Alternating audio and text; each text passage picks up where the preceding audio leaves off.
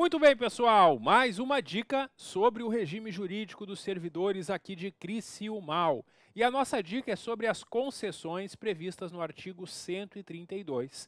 Essas concessões são alguns dias que o servidor pode faltar ao serviço sem nenhum prejuízo.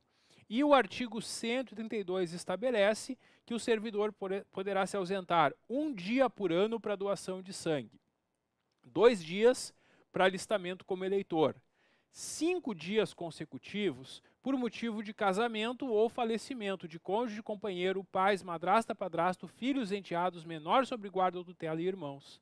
E até dois dias consecutivos por motivo de falecimento de avós ou sogros. Memoriza esses prazos e essas situações que tem uma boa chance delas serem cobradas na prova do teu concurso.